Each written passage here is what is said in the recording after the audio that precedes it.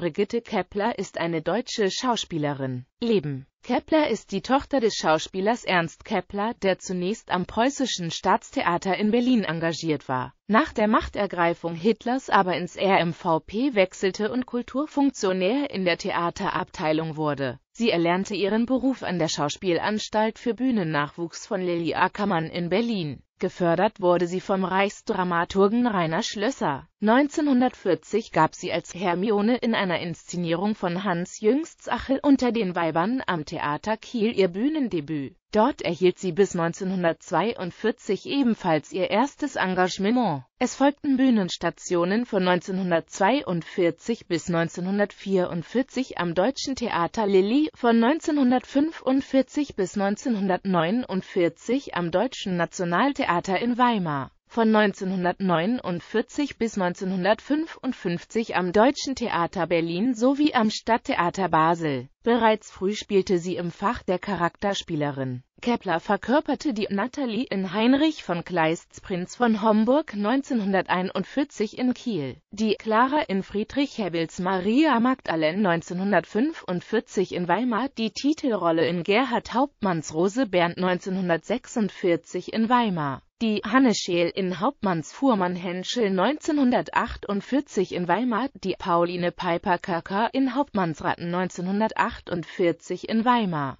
die Marie in Shakespeares Was ihr wollt 1950 51. am DT Berlin und die Hexe in Goethes Faust 1955 am DT Berlin. Daneben trat sie vereinzelt in Filmproduktionen auf, so beispielsweise in Zlatan Dudovs Drama Stärker als die Nacht für die DEFA wirkte sie auch als Synchronsprecherin bei verschiedenen Produktionen in Berlin mit. Filmografie 1954 Stärker als die Nacht Theater 1950 Nikolai Gogol Der Revisor Regie Wolfgang Langhoff 1951 Alfred Kantorowicz Die Verbündeten Regie Wolfgang Heinz 1951. Juri Bojakowski, Julius Fučík Regie. Wolfgang Langhoff